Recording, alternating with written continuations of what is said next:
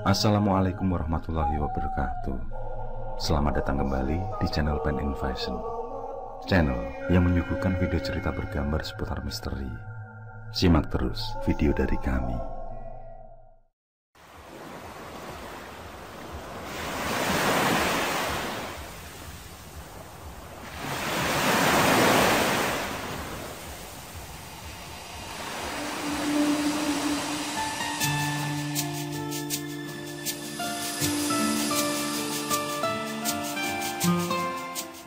Angin kencang menerpa bibir danau di mana para nelayan sudah menepi. Suasana yang biasa bagi mereka. Terlihat seorang pria muda berumur sekitar 30 tahunan sibuk mengeluarkan hasil tangkapannya tadi malam. Di pagi ini, dia bernasib mujur. Ikan-ikan tamak berkerumun dan penuh di lantai perahunya. Dia pun menjadi pusat perhatian oleh kawan-kawan seprofesinya. Ketika ditimbang, Berat ikan-ikan itu mencapai dua kuintal. Pria bernama Naryo itu menyambut keberuntungannya dengan menggenggam erat-erat uang yang telah berpindah tangan. Mencapai 10 jutanya dalam waktu satu malam. Sungguh hasil yang tidak terduga. Di sisi sukacitanya itu, Naryo tamak diliputi rasa bingung dan heran. Sepertinya ada sesuatu yang mengusik relung hatinya.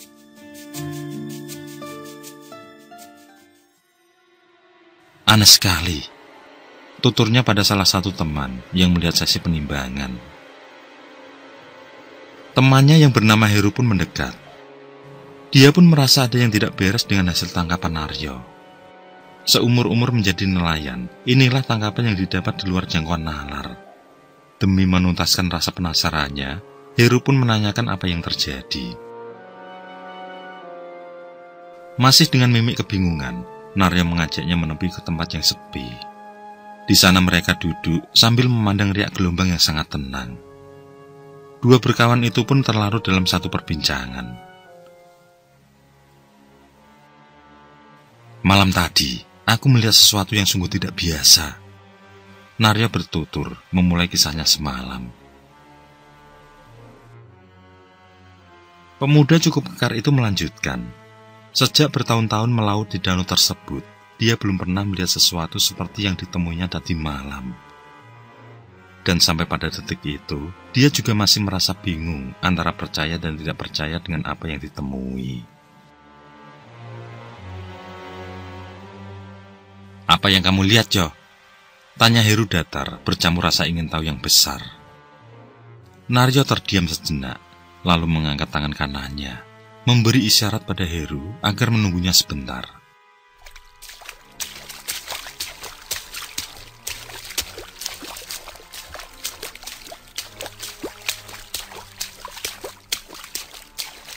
Dia pun melangkah menuju perahu yang masih berada di atas air tepi danau. Dengan segera, dia menaikkan perahunya ke daratan.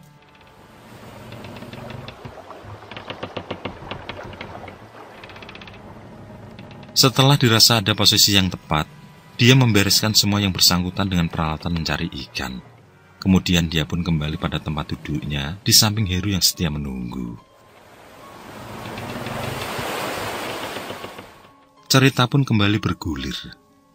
Waktu itu, sekitar pukul 2 dini hari, Naryo mendengar suara angin ribut di luar yang mengembaskan gubuk bambu dengan sangat dahsyat. Seketika itu pula ia terperanjat dan terbangun dari tidur. Hujan lebat juga terdengar riuh menimpa atap rumah bambunya di atas danau. Dia merasa kalau pondok kecil itu hampir saja terbang dirobohkan oleh badai yang mengamuk. Sekitar lima menit kemudian, tiba-tiba saja badai dan hujan lebat pun itu menghilang dan lenyap. Suasana kembali tenang, juga kembali sunyi. Naryo segera keluar dari gubuk untuk melihat suasana di luar. Dia bersyukur karena semua dalam kondisi baik-baik saja. Tidak ternampak ada yang membuatnya khawatir. Dia segera menarik dan mengangkat pesap dengan memutar roda untuk menggulung talinya. Pesap sendiri adalah alat berupa jaring segi empat yang dimasukkan atau direndam ke dalam air. Di setiap sudutnya ada tali yang menjadi kontrol. Apabila talinya ditarik, maka keempat dari sudut jaring pesap itu secara otomatis juga akan ikut terangkat dari dalam air. Agar mengangkat jaring tersebut menjadi lebih mudah dan lebih ringan, maka para nelayan memberi penggulung tali berupa roda. Jika roda diputar ke belakang, maka tali jaring pesap akan terangkat. Jika saat itu ada ikan yang berenang di atasnya, otomatis akan ikut terangkat dan terjebak ke dalam jaring. Dan itulah hasil yang memuaskan bagi para nelayan di danau, termasuk pula Naryo.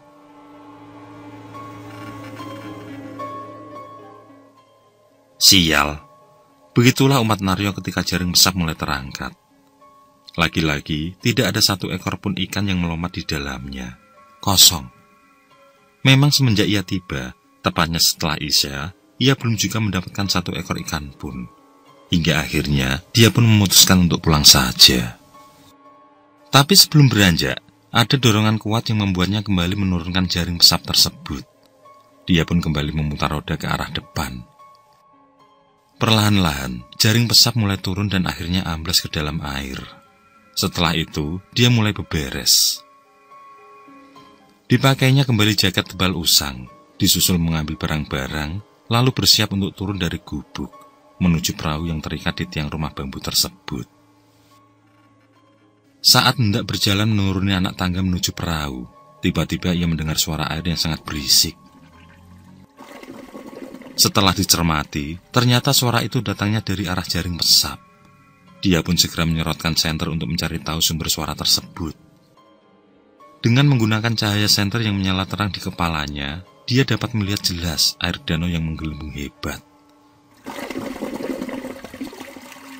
Tampak seperti air mendidih. Tapi anehnya, banyak sekali gelembung-gelembung yang keluar dari dalam danau. Hal itu membuatnya tertarik dan menunda kepulangannya. Dia pun segera berdiri menghadap ke depan untuk mengintip pemandangan aneh yang belum pernah ia temui seumur hidup. Sejenak Naryo merasa heran dan bingung. Dengan segera, dia mengalihkan pandangan ke sisi yang lain di permukaan danau. Ternyata seluruh sisi danau yang lain juga tampak bergelembung. Seakan-akan ada rongga di dasar danau yang menganga, sehingga membuat udara menjadi naik dan menghasilkan gelembung yang sangat banyak.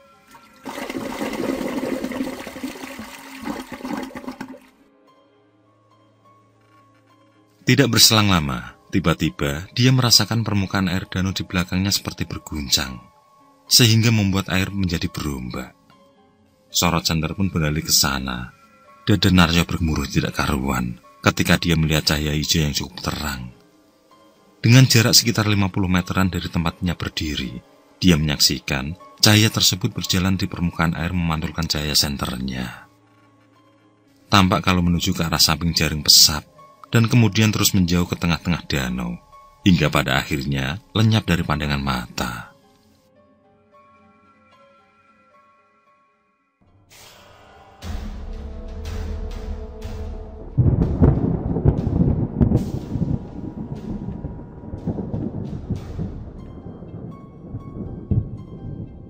Sekian detik kemudian, tiba-tiba kembali terdengar suara sangat berisik. Kali ini suara itu seperti hujan lebat yang bergemuruh dan baru saja turun dari langit. Hanya saja, suara itu jauh lebih keras. Naryo segera mencari tahu apa yang sedang terjadi. Segera dia mengalihkan pandangan ke daratan yang beranjak sekitar 400 meter dari tempatnya berada. Namun, tidak nampak turun hujan.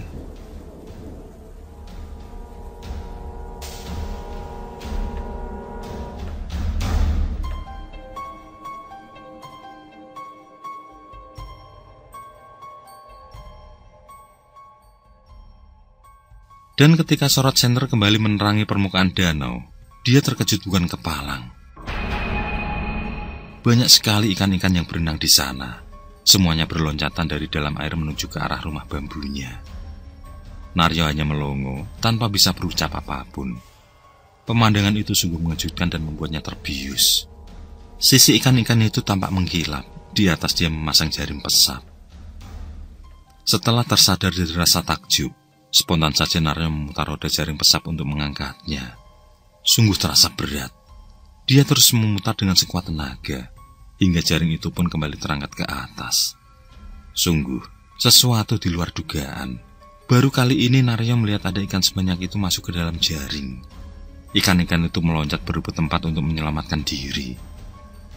Dengan cepat, Naryo mengais ikan-ikan itu memakai jaring tangkai yang biasa dipergunakan.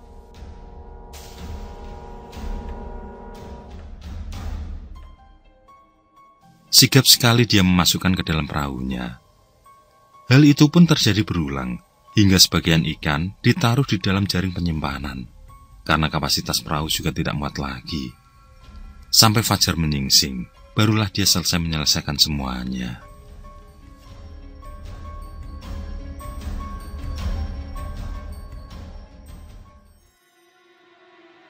Mungkin memang sudah rezeki untukku.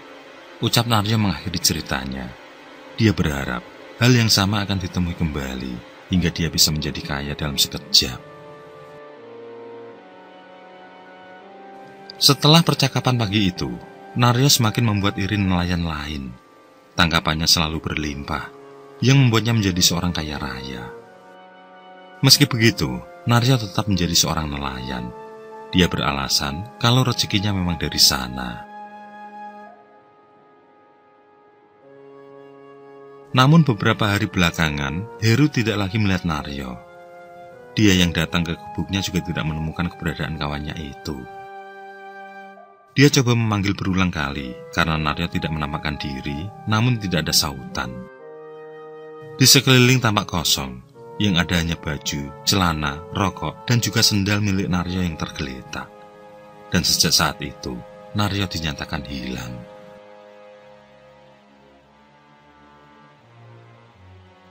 Berita hilangnya Naryo pun mulai menyebar luas di tengah masyarakat. Banyak pihak yang terjun turut membantu pencarian di lokasi sekitar. Bahkan ada yang menyelam ke dalam air menggunakan oksigen. Namun sampai hari ke-10 pencarian, belum ada hasil yang ditemukan.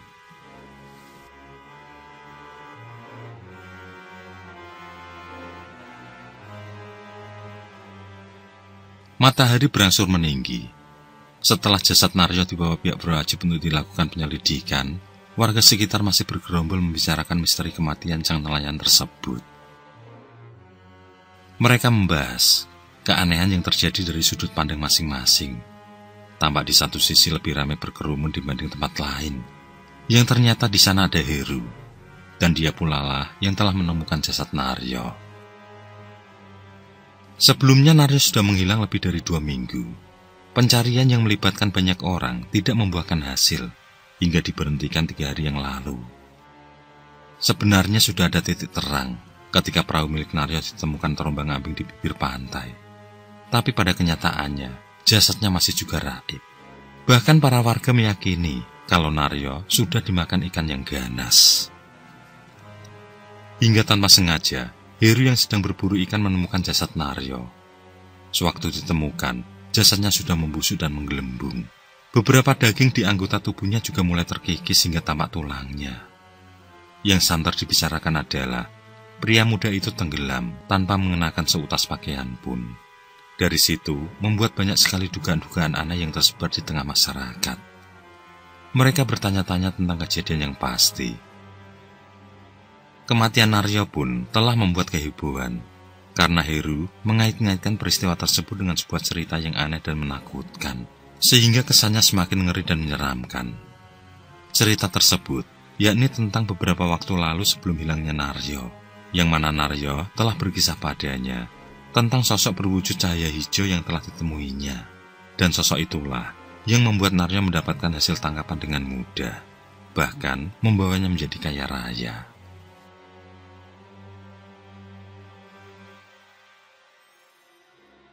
Dua bulan kemudian, dari seorang kerabat Naryo di lain daerah, diketahuilah kalau ternyata Naryo sering pergi ke dukun untuk minta pesugihan. Dia juga kerap kali mendatangi tempat-tempat angker, termasuk pula melakukan semedi di tempat keramat dan mistis. Cerita tersebut pun dikait-kaitkan dengan apa yang dikisahkan Heru. Dan banyak sekali warga yang meyakini bahwa kematian Naryo disebabkan dengan pesugihannya dengan Dewi Air.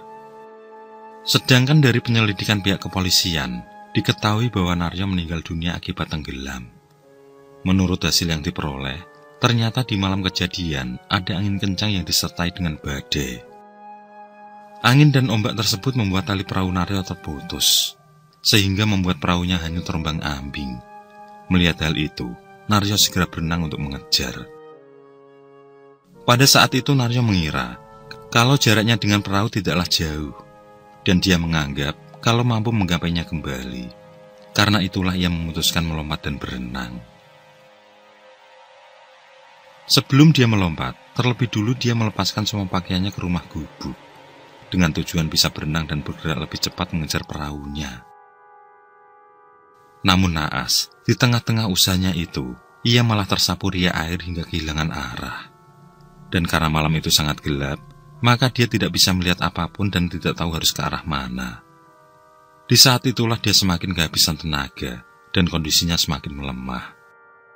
Hingga pada akhirnya, dia pun tenggelam di terpa angin dan diempas ombak. Naryo pun tewas.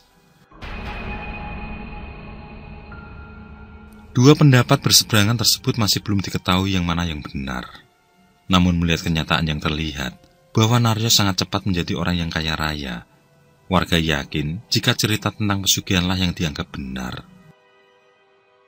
Apa yang menjadi keterangan dari pihak kepolisian dianggap sesuatu yang tidak masuk akal. Tidaklah mungkin seseorang yang dalam kondisi kepepet harus menanggalkan seluruh bajunya untuk terjun ke danau.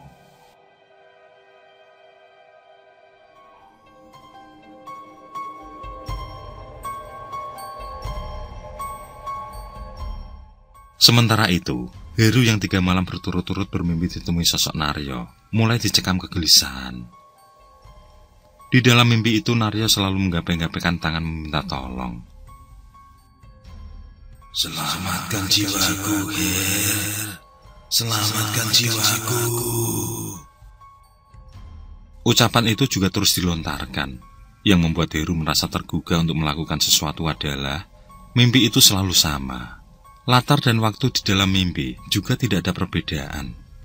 Dari kegelisahan itu, Heru pun mencari tahu ke rumah kerabat Naryo di luar daerah. Di sana dia disuruh menemui Kisambit seorang spiritualis yang dikenal dalam hal pesugihan. Sosok ini diketahui menjadi perantara dua alam. Dan ternyata, perjalanan ke rumah Kisambit harus melewati jalan setapak yang panjang.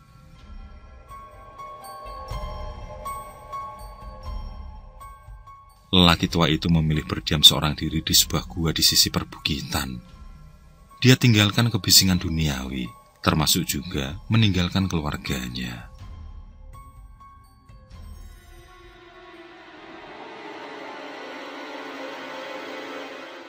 Aku sudah memperingatkannya, tapi apa yang terjadi adalah pilihan hidupnya. Ucap Kisambit saat Heru menanyakan tentang Naryo. Lelaki renta itu mengenal baik Naryo. Yang menurutnya lebih dari setahun yang lalu datang meminta ritual cepat kaya. Naryo menceritakan lika-liku kehidupan sebagai pencari ikan yang dianggap membosankan. Lalu bertekad ingin cepat kaya secara instan Kisambit pun memberitahu resiko yang diterima jika ia sampai melanggar aturan yang disepakati. Dan dari pengalaman Kisambit selama ini, belum ada seorang pun yang bisa melewati penguasa air sebagai sumber kekayaan. Hanya saja kebanyakan, orang yang melakukan pesugihan tersebut tanya ditujukan pada generasi penerus. Mereka rela menjadi tumbal demi lunasnya hutang, demi kemewahan sesaat, dan demi harga diri anak-anaknya yang tentu akan dihormati karena mendapat warisan harta yang berlimpah. Karena desakan beruntun dan tekad kuat yang ditunjukkan Naryo, akhirnya diajaklah Naryo ke Pulau Trembini, sebuah pulau gaib di sekitar Laut Payangan, di dekat Pulau Nusa Barong yang hanya dihuni kalangan perempuan. Pulau ini sangatlah terlarang bagi manusia. Orang yang terjebak ke pulau gaib itu tidak akan bisa kembali dalam keadaan hidup-hidup. Kisambit pun melakukan ritual yang berujung disepakatilah segala ketentuan. Mendengar penuturan Kisambit, Heru tersadar bahwa anggapan masyarakat selama ini benar adanya. Naryo memang seorang pelaku pesugihan.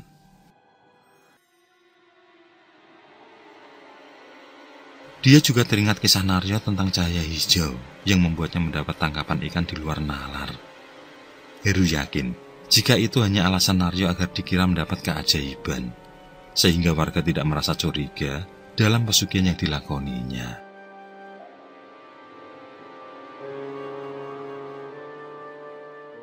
Apa tujuanmu yang sebenarnya? Tanya Kisambit sambil menatap tajam ke arah Heru. Sejenak, Heru menghela nafas melepaskan semua lamunannya. Kemudian dia menceritakan tentang mimpi yang membawanya melakukan penyelidikan atas Naryo. Dan setelah dia tahu kalau Naryo memang seorang pelaku pesugihan, dia pun yakin jika arwah Naryo terpasung.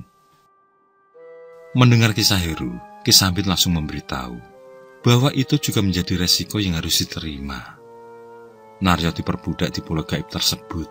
Tidak ada seorang pun yang mampu menolongnya, meskipun memiliki kesaktian yang mumpuni.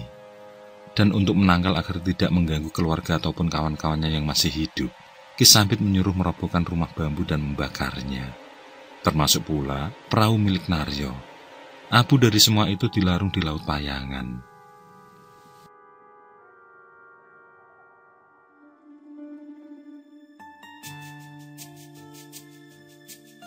Sekembali dari Gua Kisambit, Heru melakukan diskusi dengan kerabat Naryo. Secara terus terang, dia menceritakan apa yang dialami dan apa yang diketahui tentang Naryo. Akhirnya mereka menyetujui untuk melenyapkan benda milik Naryo. Sedangkan harta yang lain, termasuk beberapa aset lahan, akan digunakan untuk hal positif. Agar yakin dan tidak merasa tersesat, mereka minta pendapat seorang pemuka agama tentang penggunaan harta tersebut.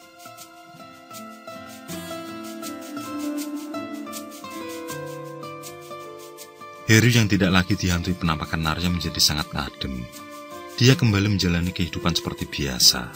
Dia mantapkan hati dengan tujuan hidup ke depan. Bukan hanya di dunia saja, namun ada alam setelah kematian, di mana dia harus mempertanggungjawabkan segala perbuatan selama di dunia. Dari kisah Naryo, dia pun menyimpulkan bahwa janganlah memaksa untuk mengejar apa yang sekiranya tidak mampu dikejar karena hal itu akan membuatnya tenggelam dan binasa.